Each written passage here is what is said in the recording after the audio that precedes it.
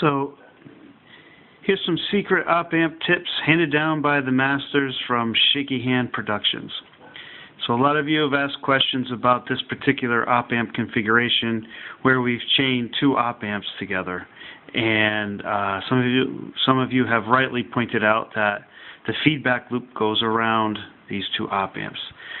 Um, the intuitive thing to remember is that these two op amps, when they're chained together, uh, give you the open loop gain squared at this point times uh, Vn.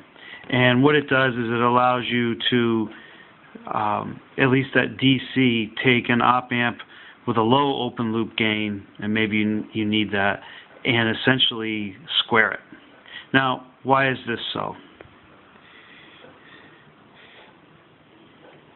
Well, first we have V out squared equals the open loop gain squared times V minus at U1. That's the ultimate uh, thing that we were looking for. But how do we get there? Well, we've got three equations.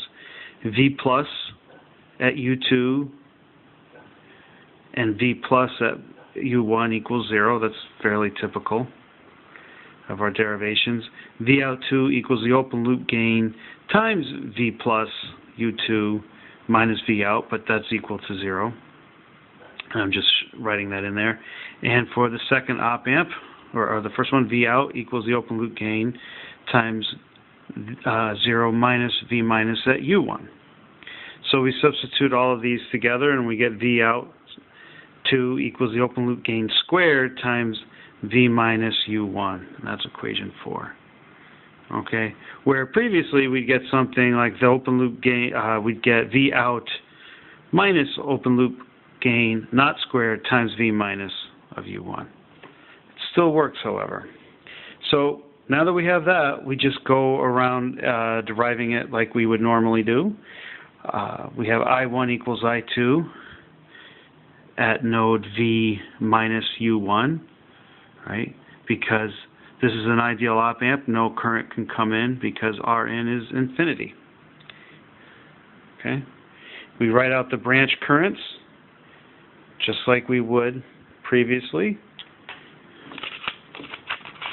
excuse me.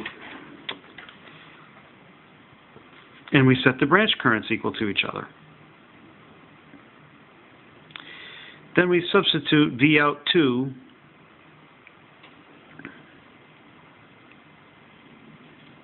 excuse me, to open loop gain squared times V minus U1 into 7. And we get this relationship.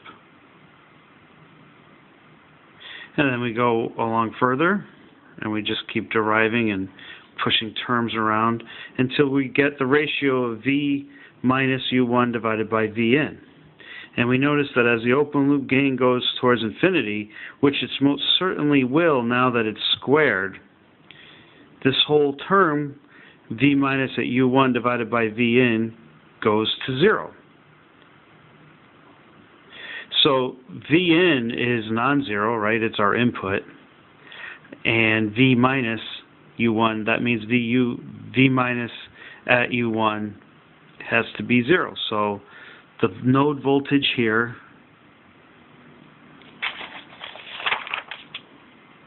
excuse me, that has to be 0. And the reason why it's 0 is uh, we need also the feedback. So now that we have that at 0, V plus, V minuses, all the V pluses, all the V minuses, all equal 0. And we substitute that back into equation 7, where we now get V in divided by R1 equals minus V out divided by R2. Solve for it. Minus R2 over R1. And the way you can kind of think of it is when you chain these op amps together in this configuration, you kind of get one big op amp.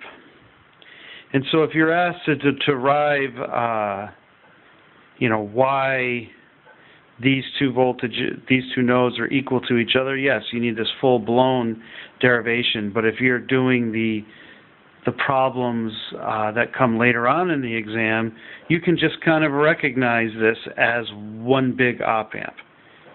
And I hope that helps. Uh, good luck tomorrow.